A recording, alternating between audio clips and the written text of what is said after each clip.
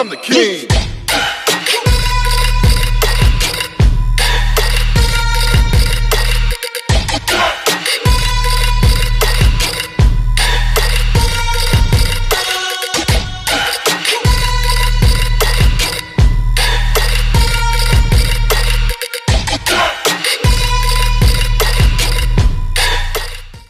Assalamualaikum warahmatullahi wabarakatuh. Salam Moto Stylers Uye Buat seluruh pecinta Moto Stylers Channel di mana pun anda berada. Hari ini kita hadir di daerah Punggur, Lampung Tengah ya. Di depan saya sudah hadir salah satu karya menarik eh, Basicnya dari motor beat dan bergenre eh, racing. Tapi untuk lebih jelasnya nanti kita undang juru bicaranya entah modifikatornya yang penting untuk menjelaskan semua perubahan dari motor beat tersebut. Tak lupa saya selalu mengingatkan untuk selalu subscribe terus Moto Styler, eh, komen, like, and share-nya, masukannya biar Moto Styler makin hit dan terima kasih juga saya ucapkan buat t-shirt yang saya pakai dari G2CM dari Pekanbaru ya. Utang saya lunas. Oke, brother. Dan untuk persingkat waktu, kita hadirkan langsung orangnya. Silakan, brother. Sehat, Bro? Sehat. Alhamdulillah. Nama saya Bro. Nama Andrian Saputra. Andrian Saputra. Ini motor siapa, Andrian? Motor saya sendiri. Wow, beneran? Nggak, Iya. nggak ngaku, nggak ngaku kan? Enggak. Asli ya? Oh iya, Asli. asli. Dan alamatnya di mana aslinya? Alamatnya Punggur Lampung Tengah. Lampung Tengah. Asli orang. Oke, nanti kita ulas habis ya motor-motornya ya. Siap. Oke, Andrian, ini motornya tahun berapa, Andrian? Tahun 2008. 2008. Berarti masih karbu ya? Iya, masih karbu. Kenapa pilih karbu daripada yang injeksi? Karena pengen aja. Terus untuk modifikatornya siapa ini?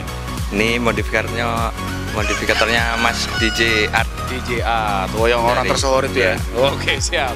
Mas, untuk pertama kita akan ulas dari sisi bagian atas. Stangnya ini dicat apa di mas? Stangnya kita masih pakai standar, cuman kita repaint aja. Oh, oke. Bahasa kerennya repaint ya. Nah, terus habis gitu hand gripnya pakai apa? Hand gripnya kita pakai Nissin. Mesin yang motif karbon ya. Iya, motif Handle-nya? karbon. Handle-nya? Handle-nya kita pakai Red It. Oke, warna gold. Warna gold. Oke, terus untuk spion spion spionnya single ya pakai apa. Mas?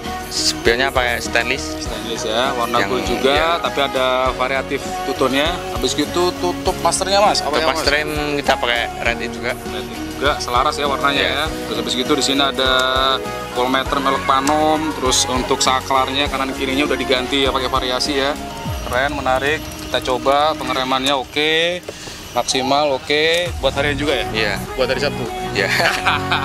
Hari Sabtu malam Minggu. Oh iya. Habis itu ya nggak kalah menarik adalah tren karbon juga ada di daerah area speedometer, serasi dengan jok ya, joknya custom model tipis khas anak-anak street racing.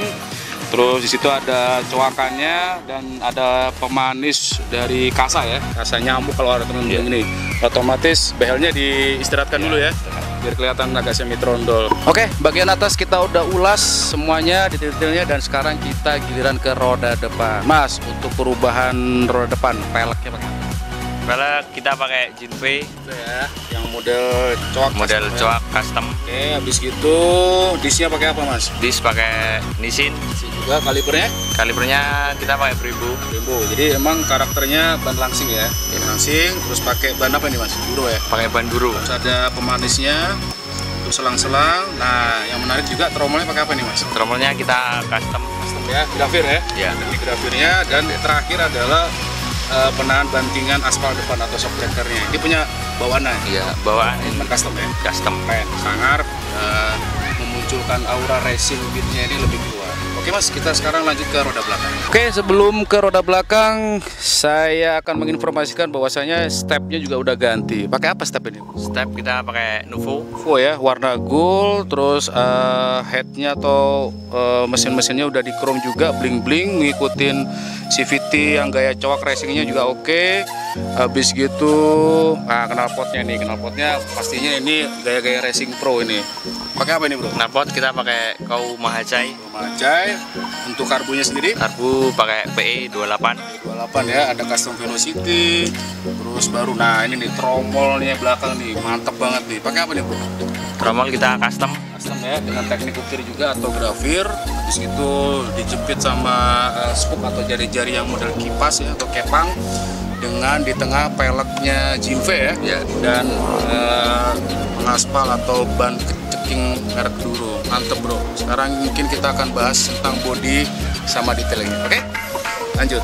Beralih lagi ke bagian atas teman-teman. Di sini untuk kelas racing pro harusnya ada teknik-teknik yang mungkin sudah jadi identitas masing-masing ya. Misalnya untuk beat ini menggunakan painting warna coklat ini ya. Pakai bahan apa nih, Bro? Blinken, Blinken ya. Clearnya pakai apa nih? Blinken juga. Blinken juga, terus didukung sama airbrushnya ada grafir juga, tekniknya keren. Habis itu detail-detailnya sampai ke samping-samping joknya menggunakan Pro Bowl juga oke.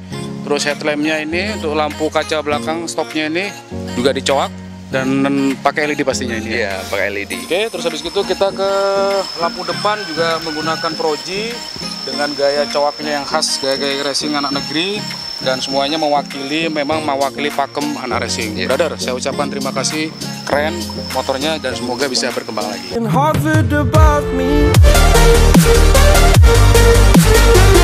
and